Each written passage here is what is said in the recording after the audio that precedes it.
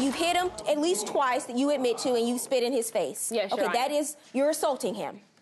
This is the man you love, that you want to build a family with, that you want to start a family with, and you're hitting him and spitting in his face. And then he cheated and he lied, and it's also two things. It's two Both sides of to the you story. are, you're, you're missing the point. You're missing the point.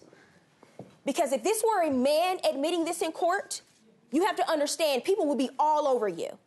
And I'm not going to let you slide because you're a woman. I understand.